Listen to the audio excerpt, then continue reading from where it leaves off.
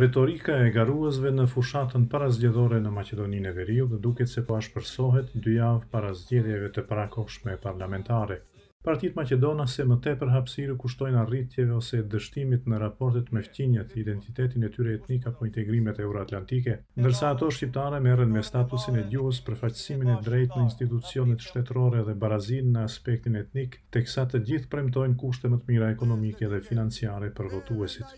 Analisti Xhelal Neziri shikon një lloj nervozizmi tek të gjitha partitë politike në fushatë e cila ka zgjatur për muaj të tërë ndonëse zyrtarisht u hap para dhjetë ditësh. Zoti Neziri thotë se kur kësaj i shtohen sondazhet të cilat i nxjerrin partitë garuese në pozicione të njëjta, i bën garuesit të jenë edhe më agresivë në kuptimin e mos zgjedhjes së mjeteve për të arritur sa më shumë vota. Në këtë drejtim unë i shoh edhe e shoh edhe gjuhën e urrejtjes që është e pranishme në rrjetet sociale, në këtë drejtim e shoh edhe ndjeshmërinë e partive politike në raport me idetë dhe projektet e oponentit. Ne duhet ta kemi parasysh se në Maqedoni Kemi një situatë, një sistem politik ku dhe një traditë demokratike ku një parti që fiton pushtetin,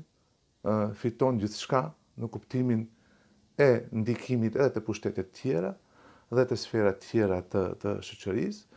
ndërkohë që një parti që mbetet në opozitë mbetet pa asgjë. Bashkimi Demokratik për Integrim ka dalur me propozimin për kryeministrin e parë shqiptar duke kërkuar bashkimin e faktorëve dhe votuesve shqiptarë rreth kësaj ideje, por që është cilësuar si akt populist nga rivalët politikë si maqedonas dhe shqiptarë ndonëse nga ana tjetër si legjitim nga një pjesë e garuesve, juristëve dhe analistëve. Pra është legale për shkak se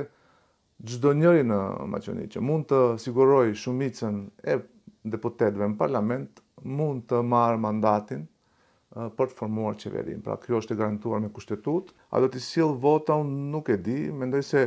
anketat thonë që rol vendimtar se për cilën parti do të përcaktohet votuesi janë platformat. e partive, çfarë ofertash do të do të kenë. Andaj mendoj se nuk mjafton vetëm kryeministri shqiptar si si ide që të tërheqë vota për për BDI-n, por do të nevojitet që ky kryeministër të shpalos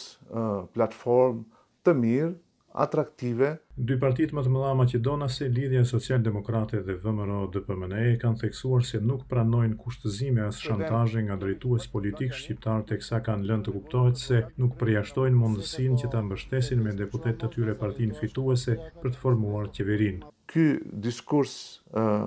i dhe ky naracion i përplasjes ndëretnike dhe i kushtëzimit ose shantazhimit shqiptarëve ndaj partive maqedonase mendoj se mund të sjell pas zgjedhjeve të ketë një lloj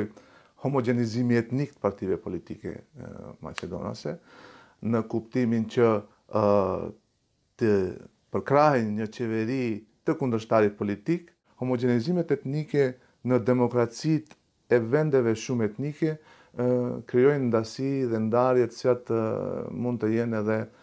me pasoja të rënda për vetë shtetin. BDI-ja me garuesin e saj për kryeministër Naser Ziberi premtojnë se do të angazhohen që në të ardhmen vendimmarrjet që nga parlamenti e qeveria dhe institucionet e larta të shtetit deri tek ato vendore të bëhen me konsensus. Përveç në parlament që e ka garantu Marrëveshja e Ohrit dhe e ka instalu kushtetuta,